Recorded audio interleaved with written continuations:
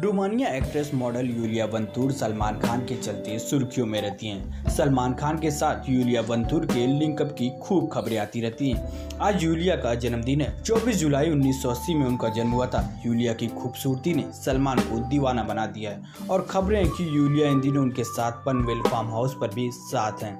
आज यूलिया के बर्थडे पर हम दिखाते हैं उनकी कुछ खूबसूरत अनसीन फ़ोटोज़ यूलिया बंदूर न सिर्फ़ सलमान खान के, बल्कि उनके परिवार के भी काफ़ी करीब आ गई। सुनने में तो ये भी आ चुका है कि दोनों सगाई भी कर चुके हैं, लेकिन इस खबर की पुष्टि हम नहीं करते हैं, क्योंकि सलमान या यूलिया ने इस पर कोई ऑफिशियल बयान नहीं दिया है। यूलिया मंतूर सोशल मीडिया पर काफ़ी एक्टिव रहती हैं। इंस्टाग्राम पर आपको यूलिया की तमाम खूबसूरत फ़ोटो देखने को मिल जाएँगी। सलमान खान की बहन हुई अतुल अग्नोत्री की फ़िल्म, ओ तेरी में यूलिया बंतूर का आइटम नंबर देखने को मिला था।